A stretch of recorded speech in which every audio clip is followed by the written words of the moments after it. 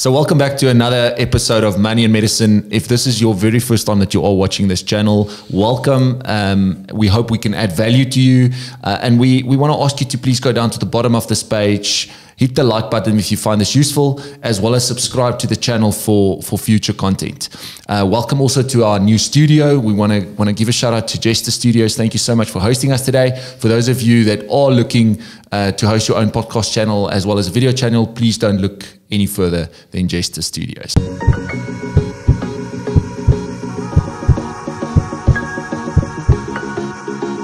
So, we've got a very special guest today um, in the studio, RJ Liebenberg. RJ, welcome. Thank you so much for being here.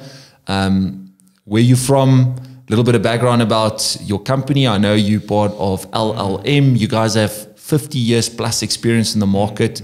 I know we've worked very closely with you as well as an associate to us. Um, where you from? How did you get into the market? Thank you, Stefan Werner, for the opportunity of being part of this podcast and, and Money in Medicine. Um, yeah, so uh, just to, to quickly summarize my, my background. So I actually grew up in, in a house of insurance. My, my mom's been in insurance for over 30 years now. She started our brokerage uh, 22 years ago. Myself, I've been in the short-term insurance sector for, for seven years now. Um, yeah, so it's been a great time, a great learning experience. So I'm, I'm glad to be here today to share some of that knowledge and, and the experience we've had in within the, the last few years. Thanks. Um, RJ, also, because I, I know you get this question asked quite often, former Griquas player, rugby player. So, uh, what made you change um, from rugby over into insurance? And, and, and how did you start from that? Yeah, so just before I started working, I, I tried the rugby thing. So uh, after school, I came to the Lions actually for, for, for four years, and then I went over to Griquas. Well, I played over 70 games, um, but yeah, I, I, just had a desire from, you know, as I said earlier, growing up in a house of, of insurance, you know, I've always wanted to, to do that, and, and that was my exposure, and, and that's how I started with that, is, is from a small age, I had an interest. Um, so when I retired, I just went into it full out and mm. haven't regretted ever, ever since. So. Yeah. But I think also knowing you on a personal level, you also knew obviously that was the next the next step and and, and the dream after rugby. Um, so I know personally you also you know pursued studies part time, and as you were playing rugby, you were also like doing that transition over time, right? Yes, that's correct, Stefan. So um, while playing rugby, I did a few of my qualifications. Uh, I did a diploma in transport management and then I did industry related training and, and I'm currently busy with a, a degree as well in WITS, you know, in, in, my final year. So yeah, hoping and, and, and trusting it will go well. RJ, I want to start off by um, just explaining to the listeners, giving them a brief introduction of short-term insurance. What is it about? Why do you need short-term insurance? Yeah, so um, I'm going to try and break down the question in two answers. So uh, short-term insurance, first of all, is um, unlike long-term insurance, it's it's focused on you know purchasing out cover for a specific item or property against a specific risk for a specific period of time. So it's it's a short-term need, um, and and the reason for short-term insurance is just in simple terms transferring the risk to the insurer by paying a, a monthly premium.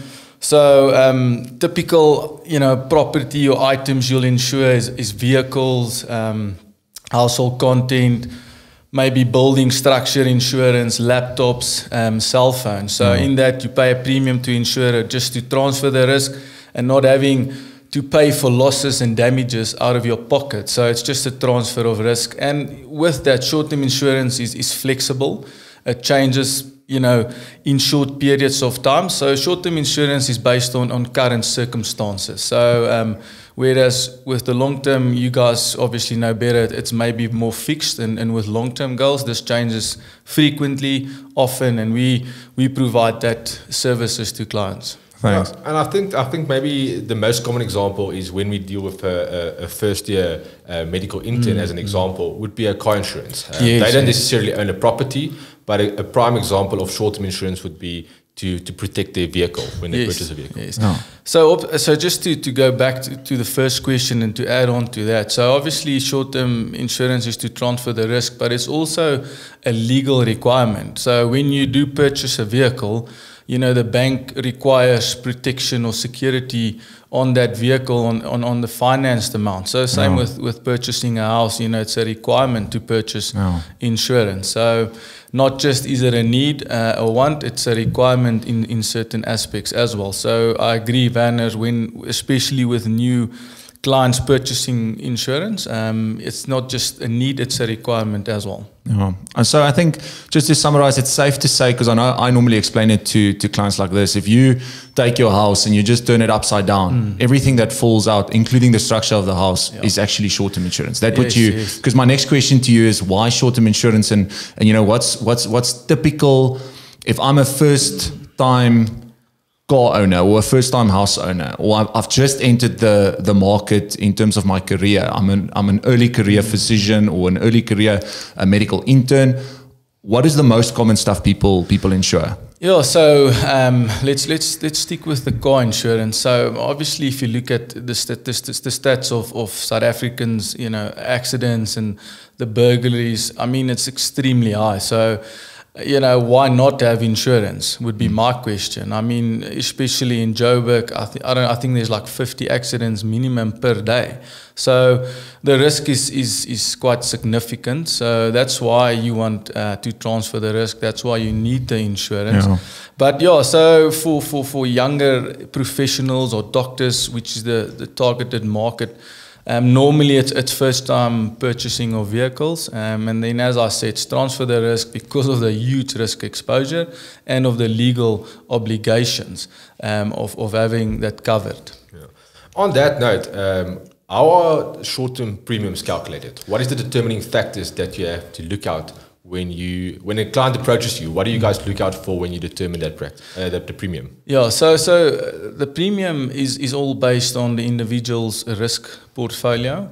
The risk portfolio, um, again, if we break it down, it, you know, there's a lot of things they take in consideration, like your age, your your, your occupation, uh, your gender, um, when was your license obtained, um, and then also uh, previous insurance history, um, obviously previous claims history, and then they look at area, you know, that what will the, the vehicle be used for. So there's quite a number of things they take in consideration when determining the premium.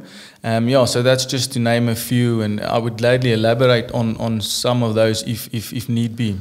Um, RJ, I actually have a question for you on that, and I know you guys are independent as well. And, and what I mean by independent is you're not limited to a specific agency. So obviously, it's one thing to determine the premium upfront, but there is an ongoing premium review every year that you guys, that clients obviously encounter. Which, which is my first question. It's a two-part question. So the first question is subject to what? So you know that premium increase or premium decrease at the at, at when you do a review for a client annually subject to what is that so what is the sort of determining factors? And secondly why is it important then to be independent? So what's the sort of value offering that goes with that that you guys can offer to say look if there's let's say a premium increase obviously you can scout from different companies that sort of stuff. Um yeah basically the two step question if you can if you can assist Yeah, so um, the, the products we do sell um, as independent brokers, we offer the client fixed premiums for at least 12 months. So there won't be any premium increases or decreases for at least 12 months. Um, so, so that I, I feel is a benefit. There is products in the market that mm, you know where the premiums might change Yeah. uh, in three months, etc., etc. But we don't we don't focus on that. So yes, after each 12 months there will be a premium review. Again, there's various factors they take in consideration, um, and, and the major the major issue when there's premium renewals or premium increases is based on the client's claims. If the client had a, a claim loss ratio over 60%, which is the industry norm, um, there might be increases applicable. With that said, being independent, we have the benefit of offering our clients um, other market offers. Uh, and we tend to do that. That's a, a you know something we've created. Whenever there's a renewal, we automatically request three other quotes to show to our client that the premium increase is still market related or If not, you know, there's other options to consider. Hmm. So yes, every 12 months there's premium renewals based on, on, on various factors. So, am I correct correct in understanding that if a client has had a claim, for an example, hmm. and after 12 months you review the, the client's current policy, hmm. and there's an increase in premium, you can look at different service providers to give them a reduced premium again. Yes, absolutely. So again, when that renewal comes up, the insurers, you know, the, let's say the car was stolen, for example.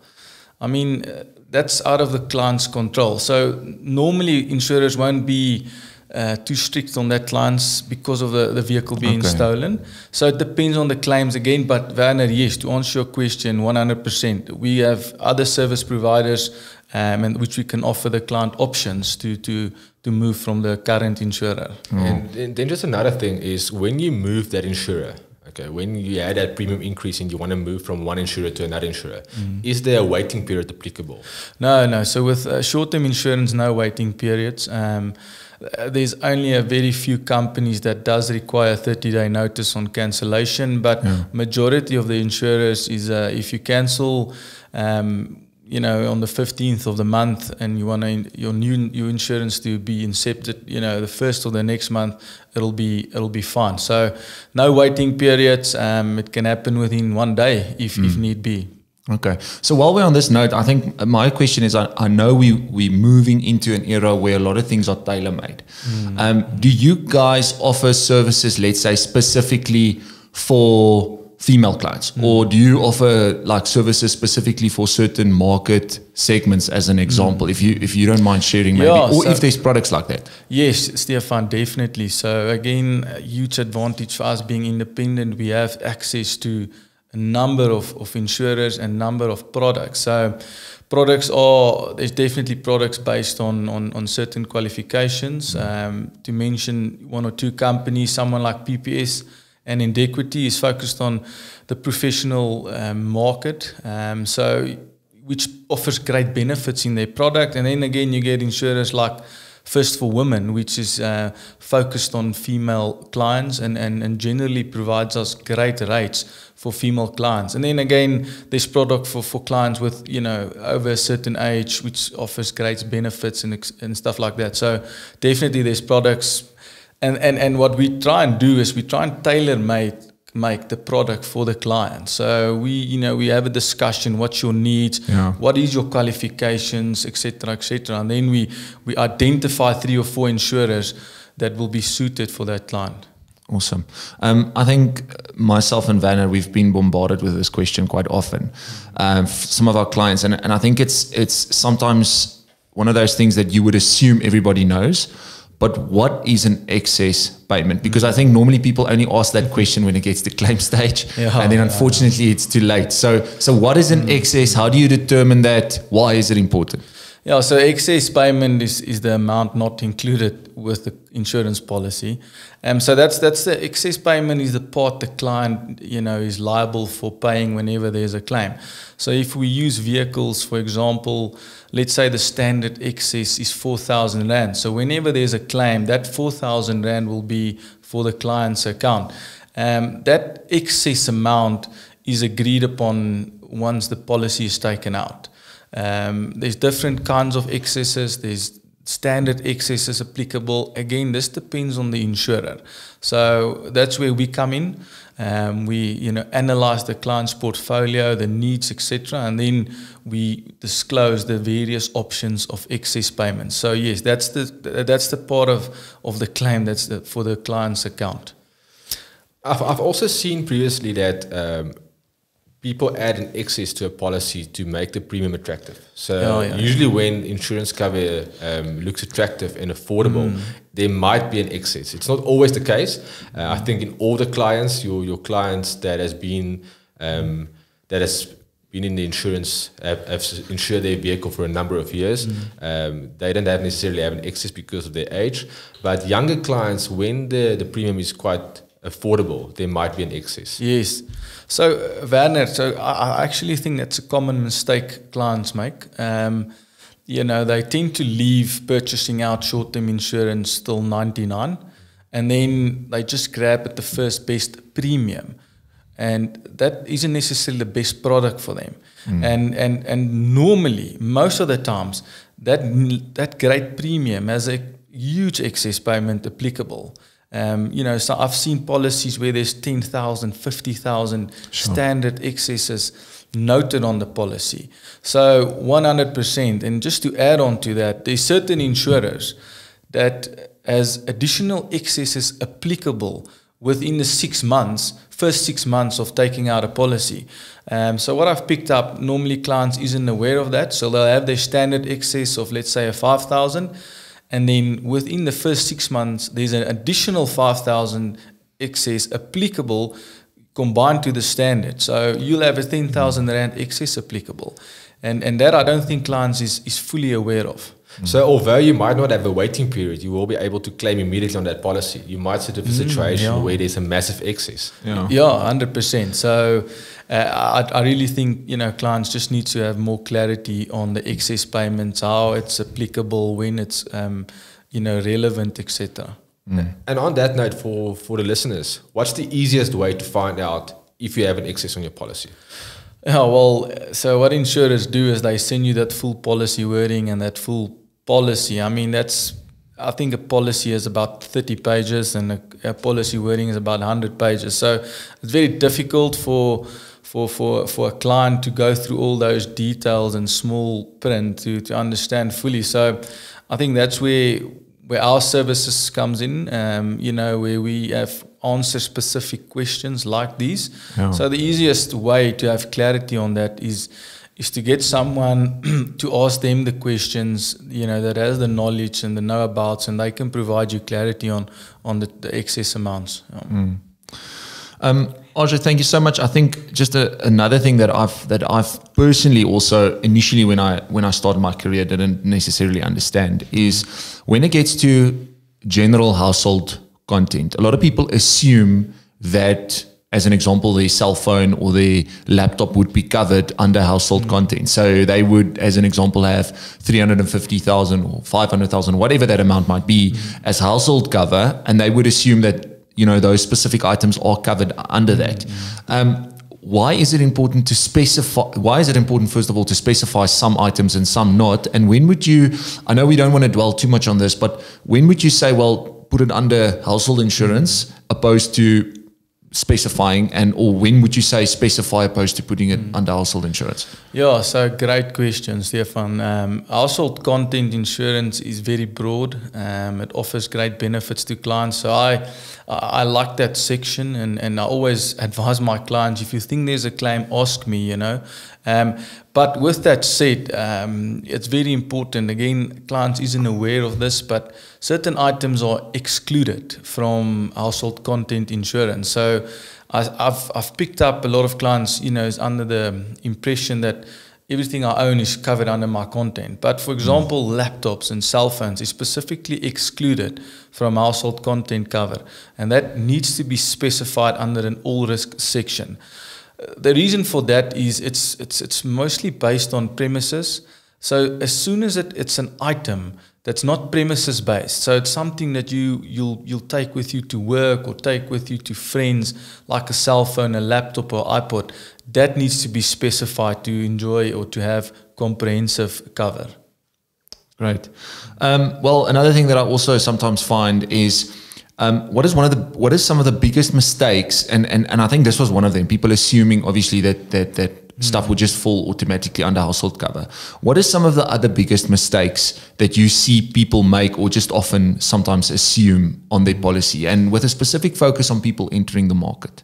Yeah, so I, I mentioned it earlier. So what I've picked up with, with clients wanting to purchase new insurance, they, they tend to leave it until 99 and then they just grab at the first best premium and, and not the product. And I think they need to have clarity and understand that there's products available which will still offer them good premiums and the necessary comprehensive cover. There's differences in products. Uh, clients need to know that. Um, as soon as you take the first be- best thing, there might be exclusions on that policy. So for me, a common error, if that's the right words to use, is, is they don't understand fully what's excluded. they just assume it's included. So they need clarity on what's excluded, uh, and they and in, in, in, instead of just assuming it is included.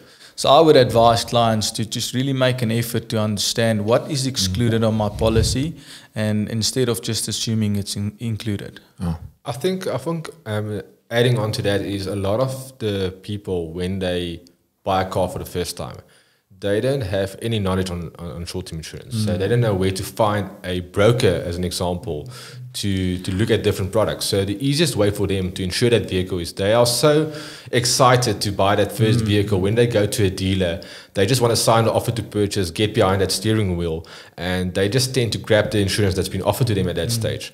So what would you recommend? How can these these prospective car buyers or, or people looking for insurance, how can they get a hold of someone? Where do, where do they start shopping around for, for different? Uh, well, in the ideal world, I would, uh, you know, if they have uh, information on our company or have my details, I'll, I'll gladly assist. But uh, not just us. I, I, think, you know, do and try and use someone that, that specializes in the field.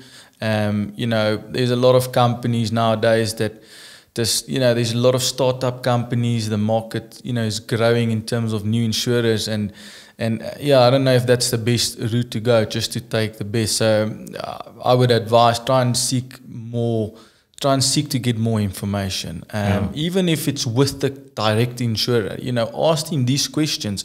What's excluded on my policy please indicate to me what's excluded specifically, what's included. You yeah. know, do you require an inspection of my vehicle? You know, the other day I, I read, uh, you know, um, I asked an insurer to send me detail about the difference in two of their products. This is one insurer, and they have two different products on the market. And in that uh, Excel sheet they've sent me, the one product includes uh, both both products offers comprehensive cover on the vehicle. Oh. The one product offers theft cover without ins inspection. The other product excludes theft unless there was an inspection done on the car. I don't know if clients is aware of that. This is the same company offering two products in the market. So I'll ask them, uh, you know, I'll, I'll advise clients to ask questions like this. Do you require inspection of my vehicle? Do you want an inspection of my um, my windscreen? You know, things like that is excluded under certain um, insurers if, if not ins uh, inspected. So, yeah, and so I would just advise them ask questions, try and seek, you know, to get information um, from people that specialize in this field. And I think to tie that down, if I'm if I'm listening to you, um, RJ, is to say what will happen in the event of a claim? Mm. I think that's the first question. If I crash my car, how will they handle the claim? Mm. What type of excess payments will we have? Will we look at? Yes, if yeah. I'm driving on the highway and obviously I smash my my windscreen, again, what is then excess payment specifically on a windscreen? If I hit a pothole, you know, mm. how do how will they look at that sort of claim?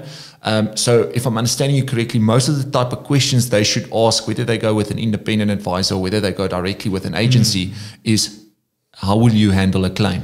Uh, absolutely. So, you know, not, not just ask what's my excess, ask them specific scenarios. What's my excess if I, am in an accident at 12 at night? Certain insurers has additional oh. excesses applicable between the hours of 11 at night and 5 in the morning. You know, ask them questions like this, um, uh, you know, scenario based questions. And you, you mentioned potholes. Um, very few insurers include pothole cover. You know, so that's also a question they might ask. Um, mm. Yeah, so so uh, yeah, as you said, rightly said, not just you ask the direct insurer if need be. Yeah. You know, but they need to ask these questions. Um, RJ, I know you also have to run, so this is the last question from my end. I don't know if Werner also want to maybe ask you one, one more thing. Um, just we know, you know, times are tough. Um, what can somebody do to save on premium? Without compromising cover. Now I know that's a, a catch twenty two, but because as soon as you start saving cover, you're automatically compromising on cover. Um, if you if you start saving on premium, um, apologies, then you are compromising on cover. So, what can somebody do in order to do that? Yeah, so there's a there's a few ways definitely. Um, you know, there's certain insurers that offers you the option of still having comprehensive cover, you know, which includes everything needed but you can limit your mileage usage of the car. So you can specifically, you know, state that I won't drive this car more than 10,000 kilometers for the year, that offers you an additional 10 or 15% discount. So that's that's one way you can you can save. Um, other ways is you can look at maybe installing a tracking device. Normally, insurers allow you additional discount uh, based on, on on that, and then um, and then yeah, maybe it depends on, on, on the value you want your car insured. There's also a difference. Um, maybe at a later stage we'll elaborate a bit more on that. But um, normally your car is insured for retail. Maybe you can look at insuring it for market value. So it depends on the need, depends okay. on, on, on, on what you owe the bank, etc. Okay. On nice. that note, um, you've heard we've we've heard the questions before where people say that a vehicle is a depreciating asset. Should you review your policy every year and reduce the sum assured of that vehicle to also save on premium? Yeah, so Werner, that's a brilliant question. Um, so, the, on personal lines insurance, which we've been discussed mostly today, every year, every 12 months, that vehicle's value, most of the insurers automatically decrease the value. Um, they use a, a system, so it, it will state the new retail value on that policy what we then get is question, uh, the question from clients is why do my premium increase if the value of my car decrease? So it's a very complicated question and a fair question. What clients needs to understand is although the price of the vehicle is decreasing, parts of the you know parts of that specific vehicle, the labor cost, etc., is increasing. So to replace a bumper on a second-hand vehicle will cost the same to replace a bumper on a brand new vehicle. So mm. even though you're driving a 2010 model Mercedes, you know, it will still cost them to replace as a brand new one. So that's a very good good question. Um, but again, that that um, responsibility is, both on, on the client and on the intermediary to, to ensure that the the, the, the values are are correctly stated. Yeah. Okay, perfect. RJ, thanks so much for your time. I think this has been a very valuable session. Um, we've we've touched on a lot of of important issues in in um, key areas that you can focus on in your policy. I think this has been very helpful. Um, Thank you so much for your time. Yeah, truly appreciate it. I also want, uh, if this is your first time that you are watching Money and Medicine, please go to the bottom of this page and hit the subscribe button for more future content, and also hit the like button if you if you found this useful. Thank you so much, and until next time, plan the plan.